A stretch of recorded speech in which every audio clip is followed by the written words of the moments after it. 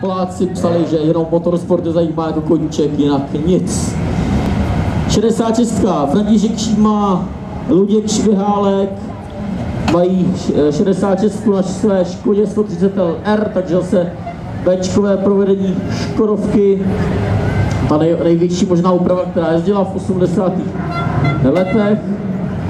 A jinak ještě koníčkem tohoto jsou lyže.